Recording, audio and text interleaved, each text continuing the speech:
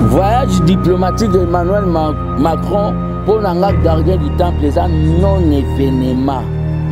Ça va rien apporter. Un président français oyo baa na service de renseignement ya makasi soki ayaki na esprit ya bien jamais akoya à 23 heures ifa tuna ndenge nini ozoya na oyo babengi le plus grand pays francophone moye otuna ndenge nini kuna eske sécurité na ngai eza assure aye na 23 heures mpo alongwa na butu mutu toyambaki en fin de compte aye kodemontre ke nzete ata batyango pendant 100 ans na kati ya mai etika kobongwa na nzambe emmanuel alekaki na ghana na ghana na sénégal na burkina faso il était avec des étudiants mais na congo emmanuel macron donc na ghana mpo asilisa oyo babengi voyage na ye na baétudiant na burkina faso na baétudiant mais na congo po asisa voyage na ye na bar en train de prendre une bière pour fêter ndenge bazoboma bacongolais na bar yango na nani lisusu na musicien congolais oyo azolinga asala une exception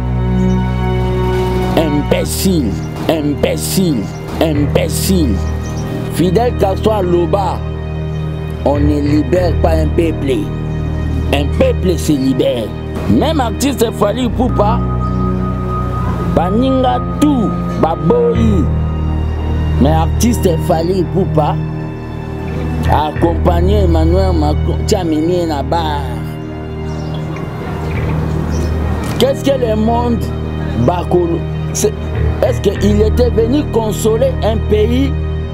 un pays oyo eza na matanga ya bandeko na bango oyo na mesa koloba ke makila na bango esi esali tout un océan du sang boboyi boyei ya emmanuel macron kasi boboyi misolo oyo amemeli mboka te tobenga yango nini tolingi kaka mbongo mingi mpo na mbongo moi je dis ça tant que combattant de la liberté mbongo wana ekokonsole bafamille ya baveve te mbongo wana ekokonsole bandikape ya baguerre te mbongo wana mpo na ngai ça engage que moi-même je vais assumer ça eza oyo babengi monkeri vis-à-vis de toute une république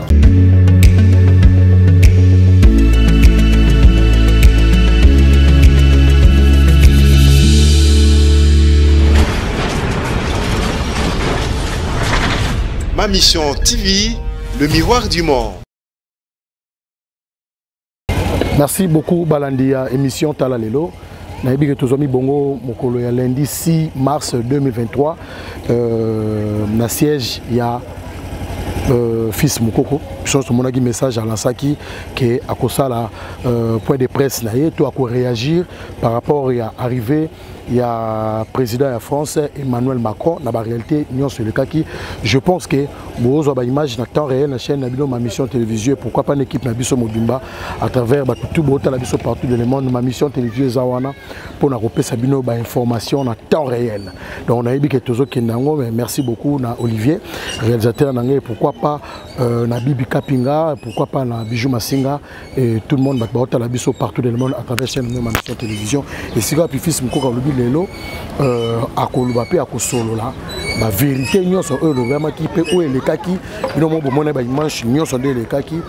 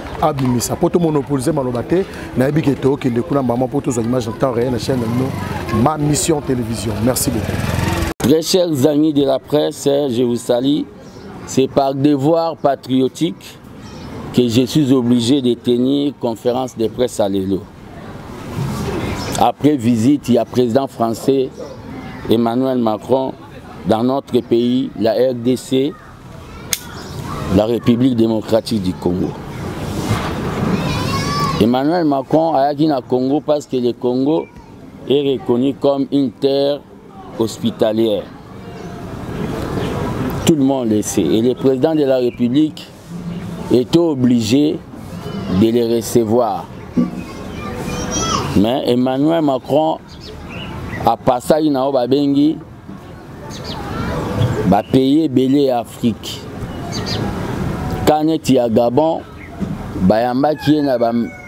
mifiniku na cadre ya komanifeste mécontentement vis-à-vis ya politique française. Mais le président de la République n'avait pas voulu kezala na mosika alingaki badiscute na ye face à face na koyoka emmanuel macron il y a pas eu ce qu'on appelle condamnation ya oyo ezopesa biso mpasi na congo oyo eza agression oyo rwanda ezosala biso mpe emmanuel macron asali langage moko neti ya kopartage baresponsabilité Il y a guerre il y a est et dans les institutions à il y a des gens aussi qui travaillent avec les 123 Ce que moi personnellement ce que j'ai dit aujourd'hui m'engage comme jeune patriote gardien du temple de, de la démocratie Un jeune dans son avenir ezali sacrifie na oyo babengi bapolitike ya mabe donc emmanuel macron langage ne eyalaki caractérise na oyo babengi beaucoup plus d'hypocrisie tokoki kotourne page te c'est pour cela je vous ai appelé aujourd'hui pour lever la voix d'abord je félicite bamanifestant oyo bakendaki na ambassade ya france mpo na kobenga ye assassin Et je profite de cette occasion pour demander la libération ya ba activistes oyo bazali arrêtés na cadre ya makambu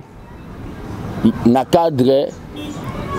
ya mauvaise politique ya monsieur Emmanuel Macron. Le président de la République azozwa ba félicitations epa na nga Parce qu'il a été clair vis-à-vis -vis à M. Emmanuel Macron, à l'objet que on n'a pas besoin ya oyo babengi batheorie toza na besoin ya du concret donc visite ya emmanuel soki donc komonani kuna naotanga yango eh, soki macron soki nani visite emmanuel macron eza visite moko boye edemontre complicité ya république française na makambo ya este na biso naye lisusu koloba lelo mbongo oyo balobi so 50 eyala 50 millions soki e ata eza 50 milliards mbongo wana ekosomba oyo babengi makila ya bato oyo bafrères et sœurs na biso ya goma te mpo na ngai na jije yango eza oyo babengi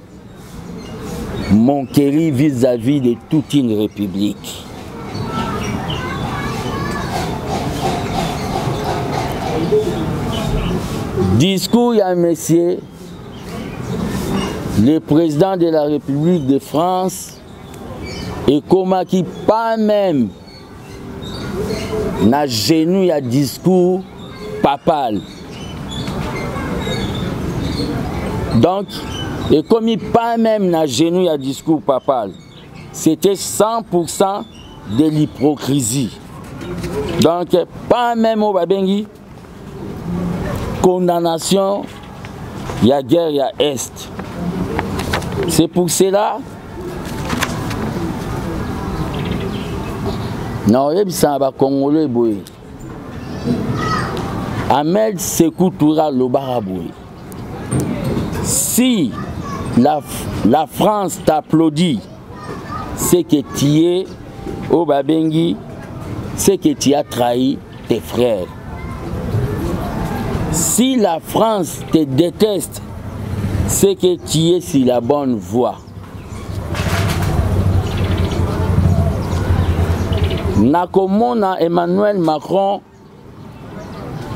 il déteste la RDC, il déteste le président de la République. C'est que nous sommes sur la bonne voie. Bonne voie en gros, tout simplement, ya kolata costume oyo oh, bamalien balati ya kolata costume oyo babukinabe balati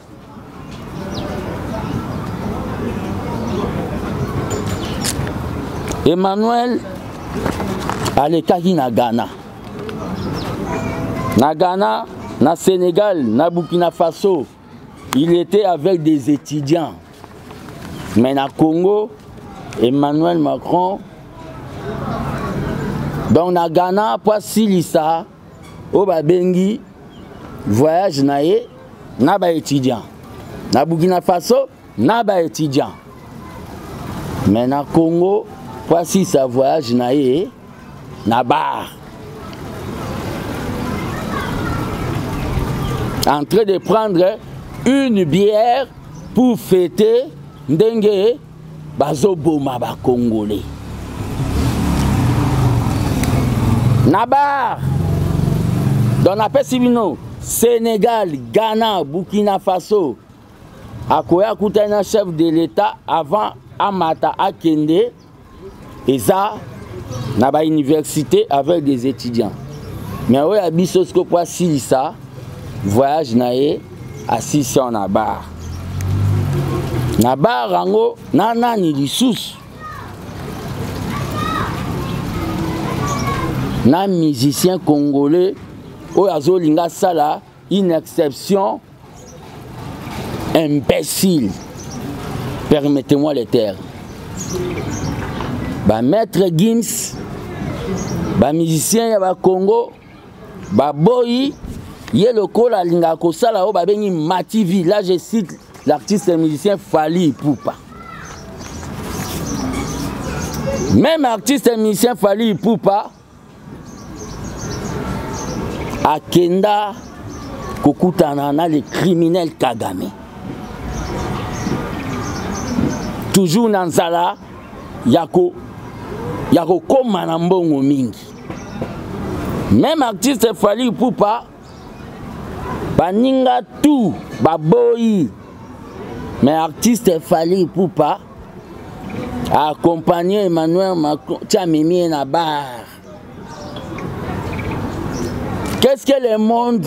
bakolo est ce que il était venu consoler un pays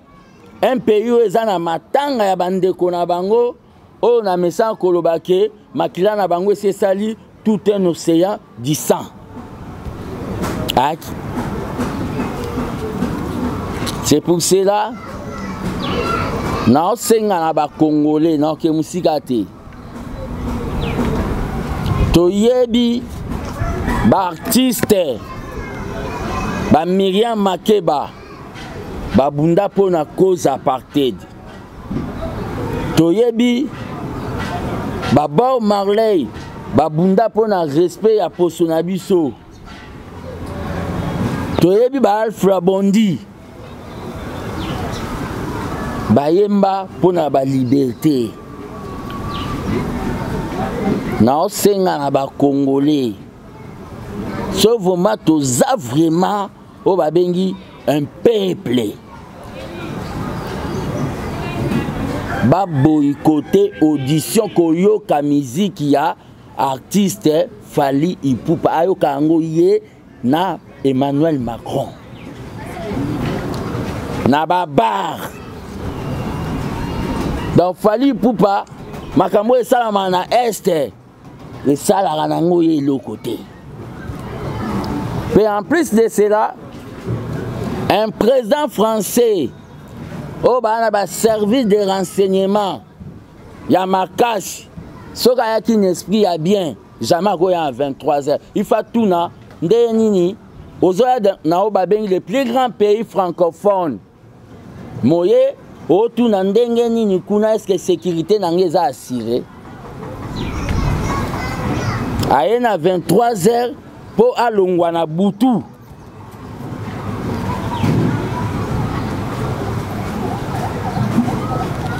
voyage diplomatique de emmanuel macron mpo na nga gardien du temple eza non événement ça va rien apporter nous devons compter na oyo babengi effort na biso moko bacongolais na mesa koloba na bino eloko oyo moi suis un prophète politique makambo tuna alobaka esalamaka fidel castro aloba On ne libère pas un peuple. Un peuple se libère.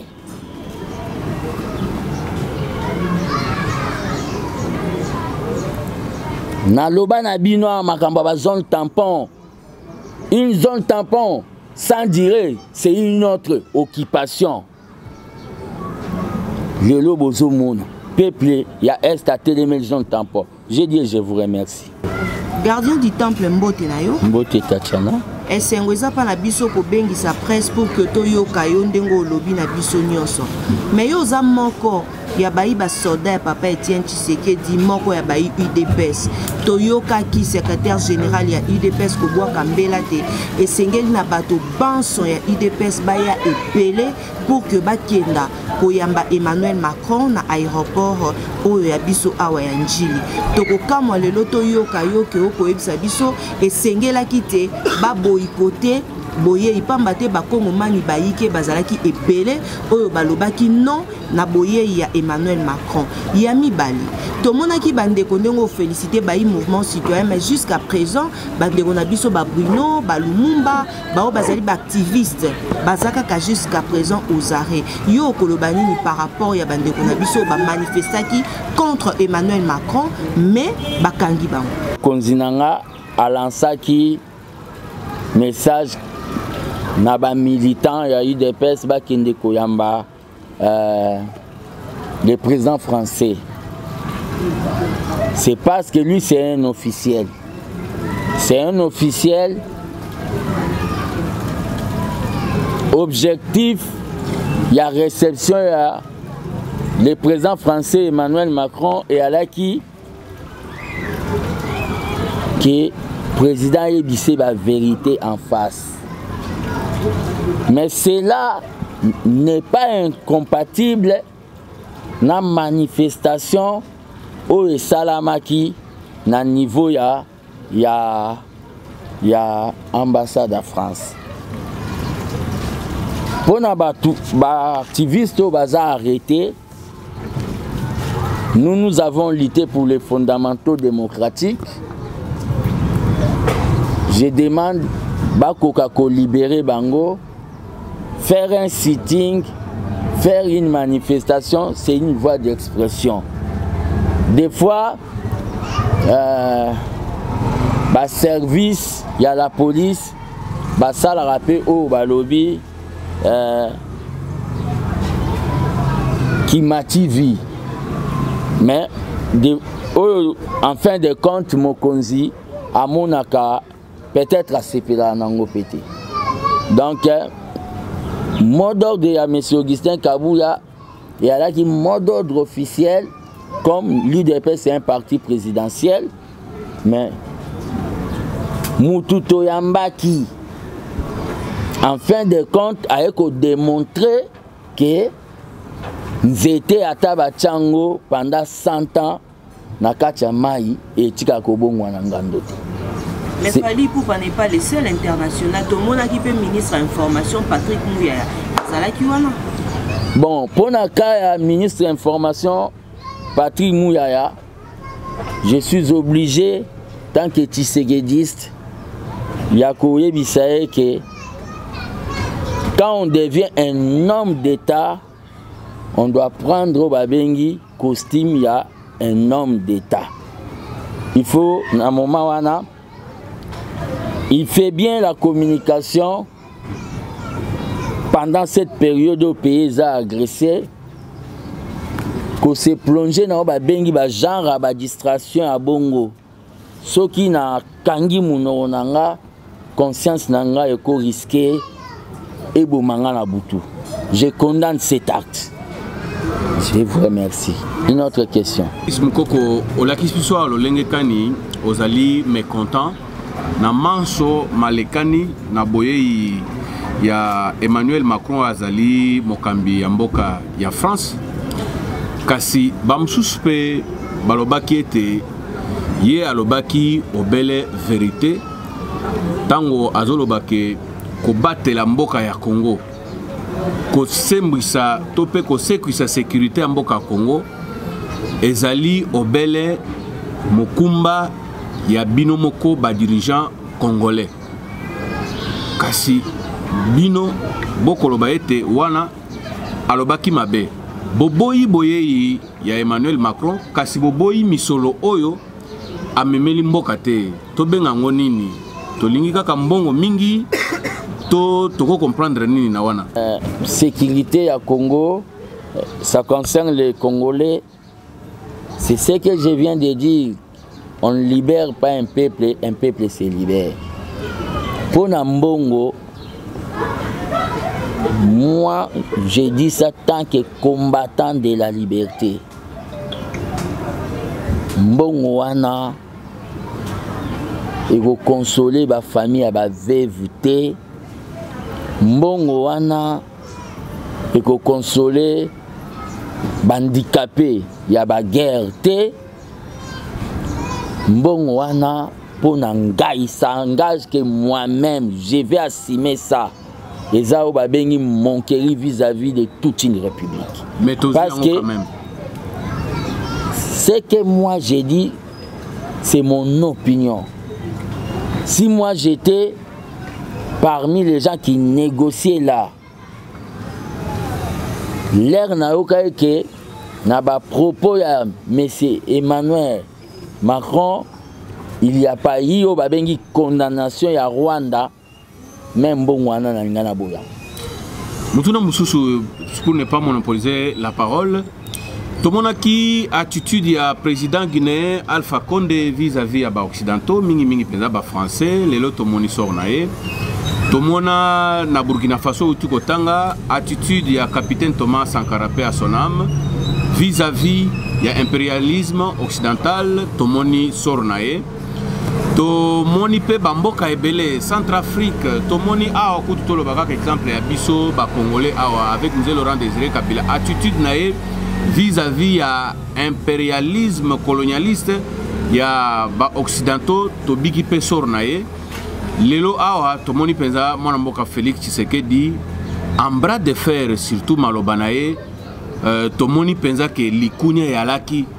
entre Emmanuel Macron na Felix Tshisekedi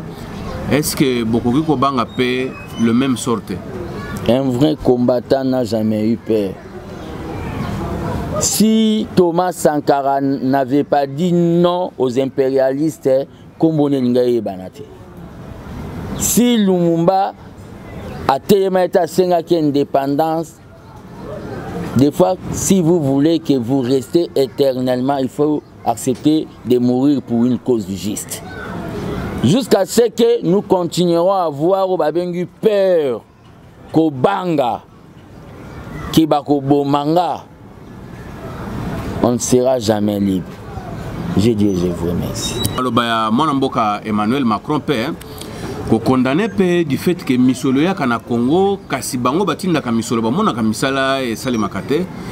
est ce que euh, ozali mpenza koapprouve yango du fait ke mbongo eyaka communauté internationale atindaka bambongo au travers bainstitution financière kasi misala wana na conclusion na bango batindaka misolo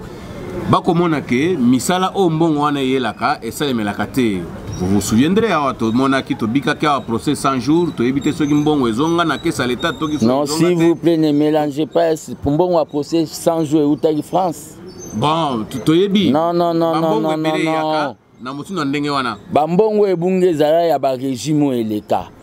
la france ne nous a jamais financé mpe mbongo ebungi bambongo oyo alobeli wana mm. eza na cadre ya continuité de l'état mais eza na régime oyo ya biso te ça on doit se le dire soki mbongo ya procès ya, ya 100 jours euta na france prouve moi ça non, non, na, na, na, dans le sens que oyo tokobika okati ya mboka oyo tokobika okati ya mboka par rapport aujourd'hui aujourd'hui le congo avec notre régime eza na budget oyo lobi ezalaki te tozokende na ba, na ba 15 milliards donc ce qu'il y a oyo babengi bonne gouvernance mpe toinstaure oyo balobi déjà kobanga mbongo ya leta koboya koconfondre yango na argent de poche na yo donc nous allons vers oyo babengi droit nzela ya, ya bien lelo oyo omilakisi mpenza trop muscule vis-à-vis ya emmanuel macron à la place ya france lokola toyebi mpenza ke france na union européenne baza nsima rwanda mpo na kotangisa makila ya bakongole mpe kosilisa bomengo na biso ya se ya mabele na moyibi alternative nini boko propose biso tokokoba se na bango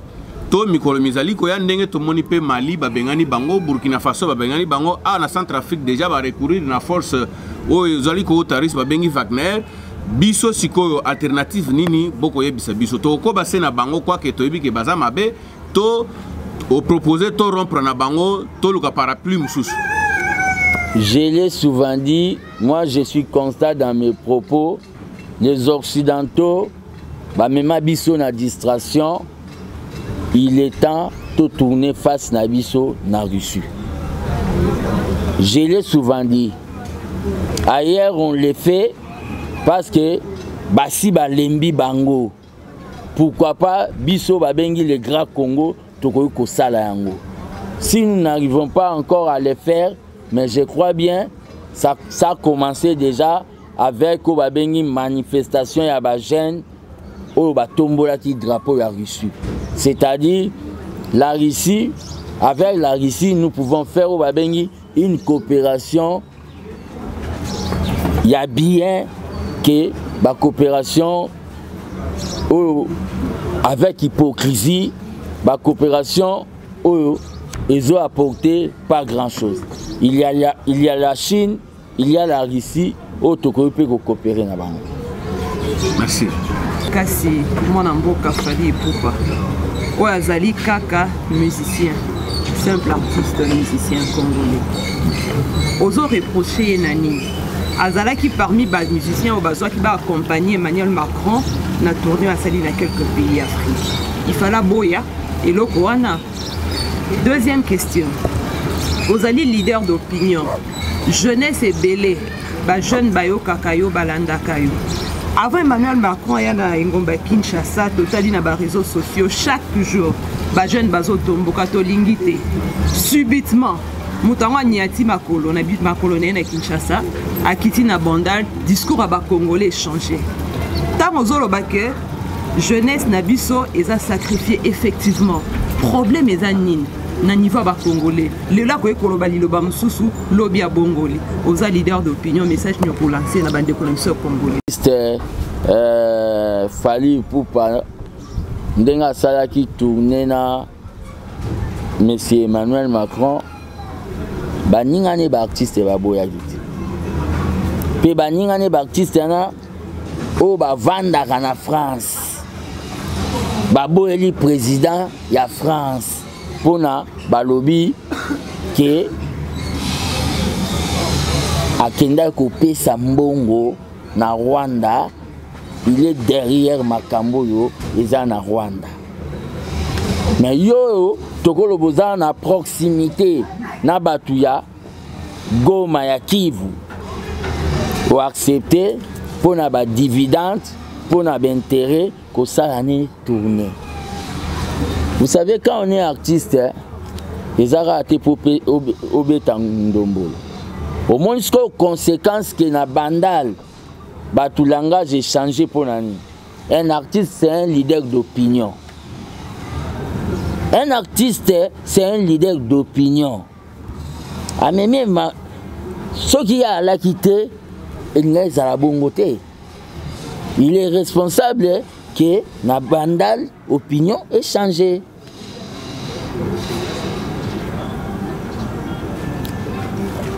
on ne doit pas continuer à ça qui fanatisme d'intérêt personnel on ne doit pas continuer le pays est agressé Il y a... Le pays est agressé. Il partage au Babengi makambo ezosala na este ce que personnellement moi je ne peux pas accepter ce que personnellement moi je ne peux pas accepter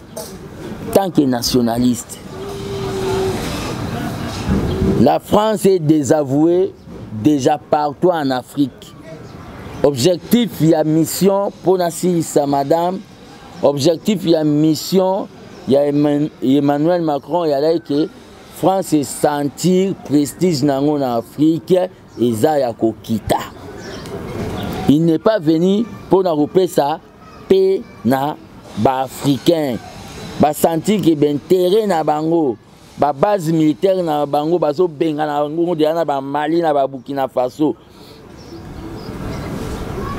yango nde baye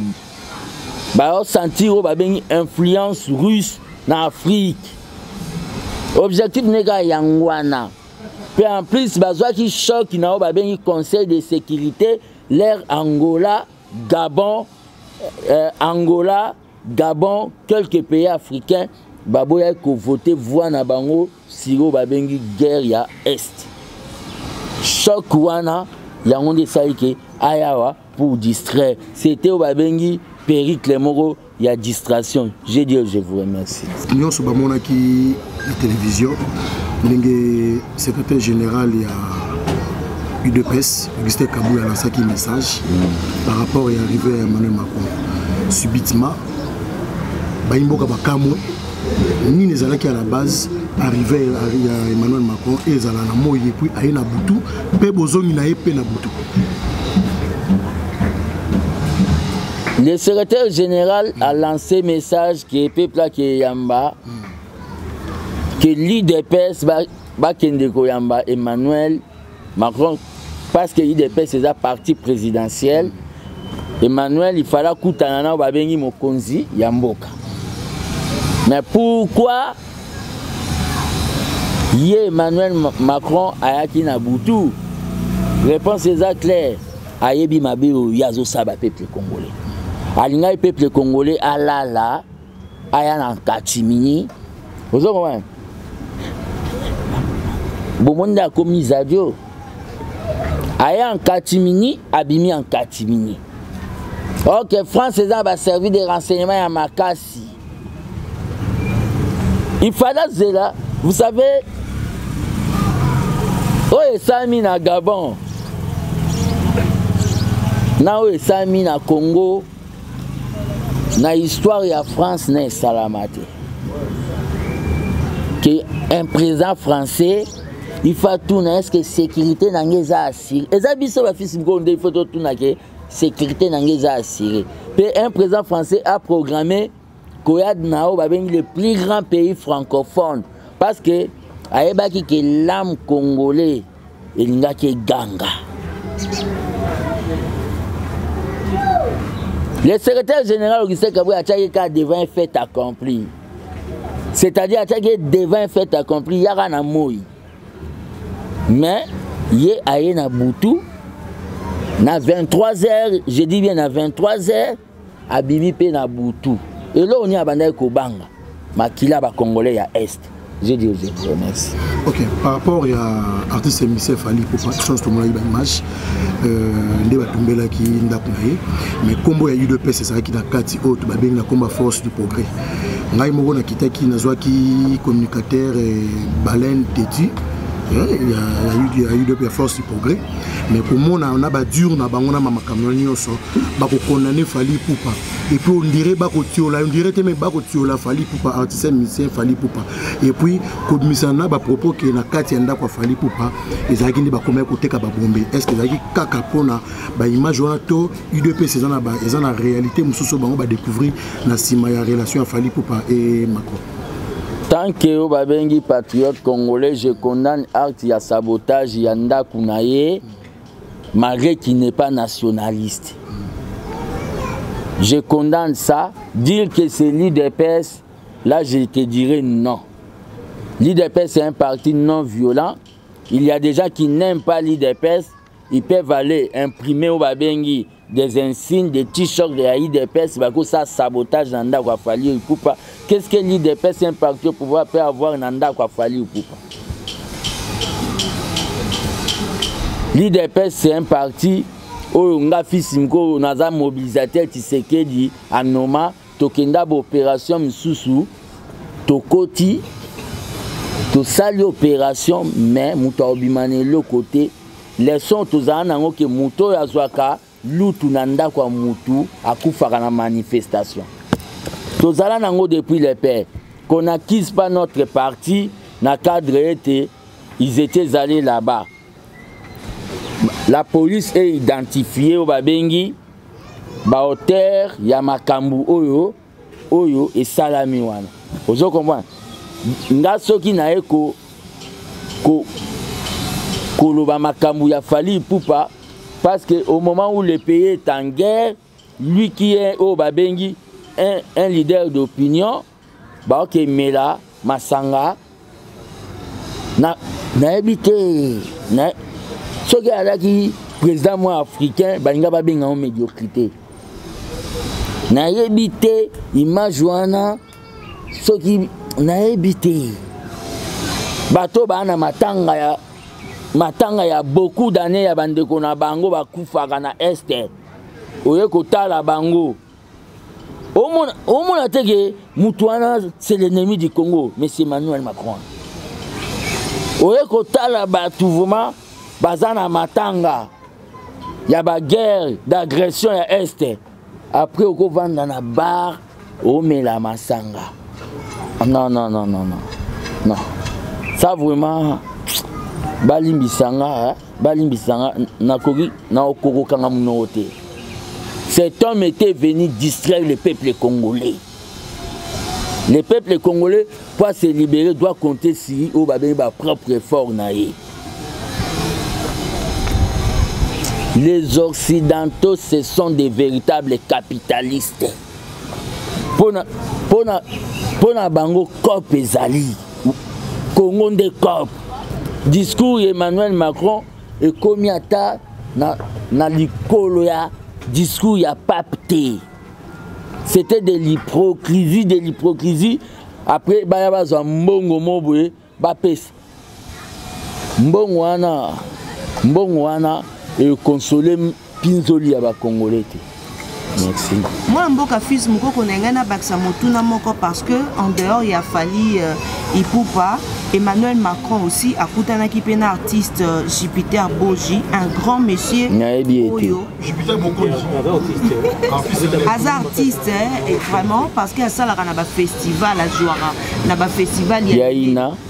Oui, parce que bato ebele babima epa na ye b'esthétique champion ya quartier latin mm. lexus légal cool mato mpe d'ailleurs yeah. abima mpe kaka epa na ye mais aussi tomonaki emmanuel macron aussi azalaki na ye mais tomonaki mambo ya bacastel te wana il faut euh, toloba ya solo mais nakoyoka o ntango ozoloba toyoka plus ozotanga kaka komba fali ipupa pourquoi euh, euh, général babenga ye major rebelle c'est comme ça qu'on l'appelle nde babengaka ye mpo na nini kolobela jupiter te bon personnellement namoni image ya jupiter ya mabe te efali ipupa eh, jupiter akozala artiste me fali pupa na koyebana eh, akoleka ne mpe jupiter wana olobi akoleka ne fali pupa na koyemba na koyemba mpe mais na succès fali pupa epo aza efface ye nde moto aka leader ya groupe okwes eh, ozomona teke ozotanga bagroupe aina bana ina bayebana avuma mingi te ozo comprendre makambo nde oyo kaka ya, eh, ya fali pupa nga na moto oyo aza na mawa ya bakongole te baninga balobi ke to boyiko te faisons babengi esprit d'équipe yo bimi boye okoki na emmanuel mako oye na yawa olosuka ata nakoya na ye oke na ye kuna bokosala baambiance na bandal au moment non esimba te il faut kokondane baarte ya bongo na cadre ke bamusicien bayeba ke bango mpe bako influence société mhm. bamusicien fo bayeba ke bango mpe yo moni te ke musicien neti karma pa ayemba mama yembo oyebi nde esala ke mama yembo yango babanda ata kobongisa yango mwa moke il y a des musiciens bayembaka makambo mosusu babiloko wana omoni stop à la guerre ya bafali eza ayemba boye mpo ake ezwa mbongo na ba ong kuna peuple congolais il faut aboycote musique ya fali il faut fali aza na mawa ya bacongolais ata moke te il faut boycotter musique ya fali mpe peuple congolais ayeba ke mundele wana ayaki wana emmanuel macron wana ye nde vraimen babengi le auteur compositeur ya makambo nyonso esalama na est merci beaucoup international tokanga nini na nyonso olobi awa ah, mpo te tosilisa we na nyonso nalobi kaka ke Congolais, il faut aller bas. On, non, j'ai trop répondu dans des questions. Na nyonso na lobi, Congolais, il faut aller bas que toza na guerre. Mokonzi ya mboka azosala befort, azalaki atiaki mai ne na monoko te mpo na koloba ke atiaka lisusu mai na monoko te mpo na koloba ke enemi na biso eza Paul Kagame pe mokonzi ya mboka na ba litani nyonso oyo Emmanuel Macron asalaki mokonzi ya mboka ayebisaki eke peuple congolais azozela alingi théorie te je dis je vous remercie merci nayebi ke botali bino nyonso bojuge bapropos to mpe baimpression ya fils mokoko bomoni ndenge alobi mpe asexprime eloko ezalaki mpasi makasi oyo oh, ngai le combattant de la presse congolaise le journaliste qui affronte sur le réalité sur le terrain tala lelo nalingaki nabeta sete makasi ministre ya communication et média patrick muyaya santima ya kokanga bafoto esilaki te to nini hmm? est ce que vraiment na casquette na yo mpe na dimension na yo je sais pas soki mboka na biso ekomi okende wapi mpe ekomi okende ndeni bocomprendre bino mo parce que na mpasi vraiment makasi bosoni oyo bakonzi ya mboka na biso bakosala ça dit que soba peso sans sa responsabilité za ba place musu o kosuka o to yebi ke biso ba congolais to lingaka masanga image e pesela déjà mais pourquoi kaka yo ministre ya communication emedia patrick muyaya okende komela masanga ntina et surtout yo moto otelema kolateli biso cravate olateli biso chemise mpo explike biso baréalité nyonso oyo eleka na este ndenge bato bakokufa moto esengeli koya kotelemela ye kosolola na ye wi bosololi makambo nyonso eske patrik muyaya acte oyo opozaki mwasi na yo ayebisaki yo te eske bana na yo bayebisaki yo te meme basekirite oyo yo ke excellence acte ozolinga opoze ezali na casquette na yo te na bato botala biso les combattants de la presse congolaise,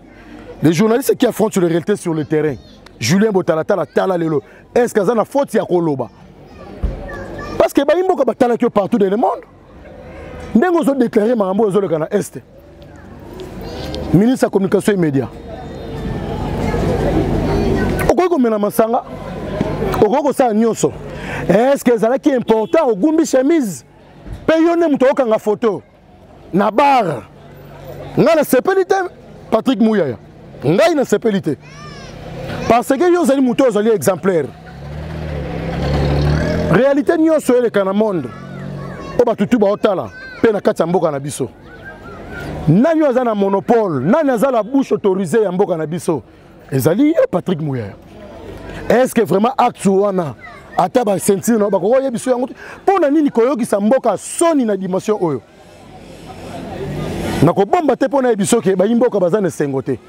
me nayebi ke bolandi bapropos mpe baquestion oyo nyonso topozaki mwana mboka patrik eh, nani eh, eh, taka nkombo ya patrik oyo esali biso etika biso na motu parce que toyoki mpasi makasi nayebi te tokimela na mboka nini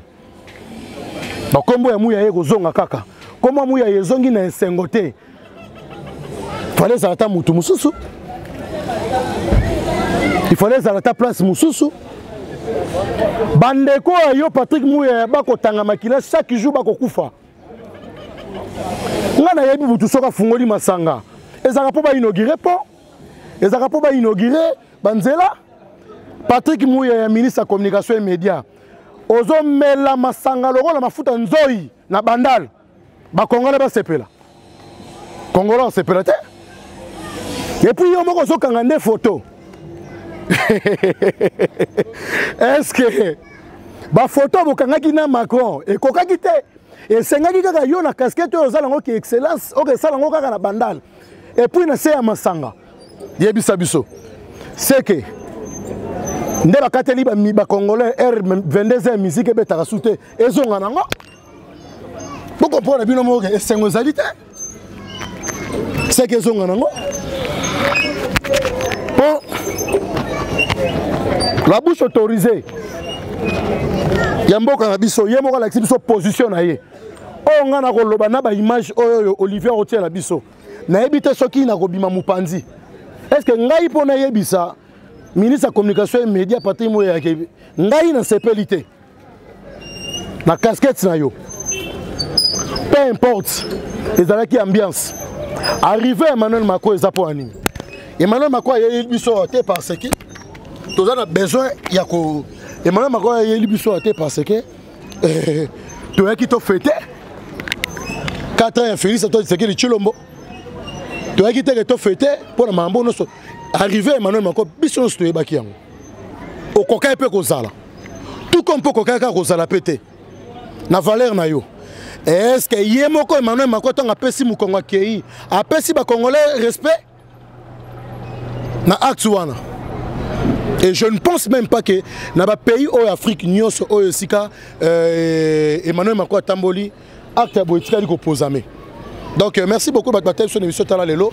euh, na chaîne na bino ma mission télévision je sais que vous êtes nombreux euh,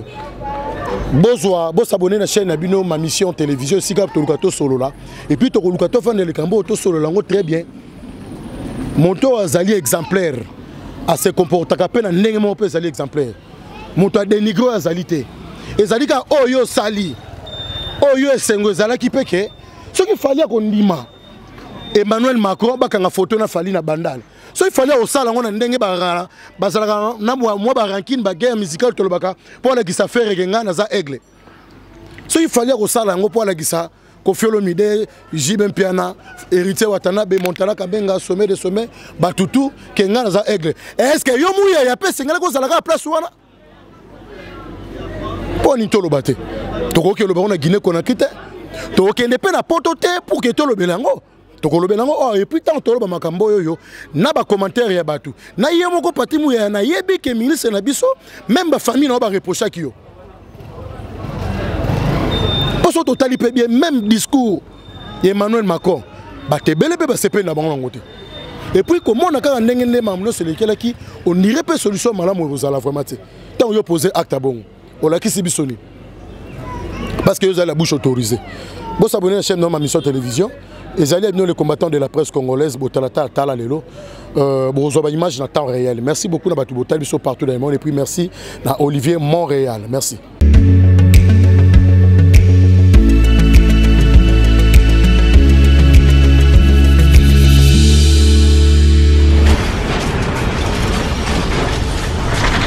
Ma Mission TV le miroir du Mort